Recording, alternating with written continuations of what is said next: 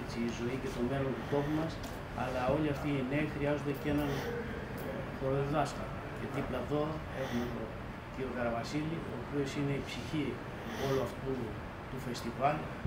Που έτσι εύχομαι να γίνει θεσμός, όχι μόνο για εδώ, για τη Λάρισα, να είναι πρότυπο για όλη τη Θεσσαλία.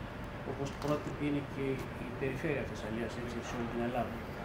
Ε, εύχομαι κάθε επιτυχία στη διοργάνωση.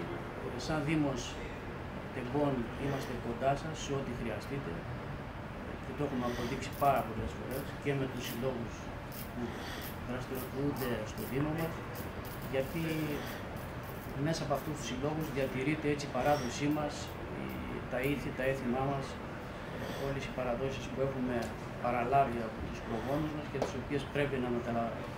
να μεταβιβάσουμε και στις επόμενες γενιές.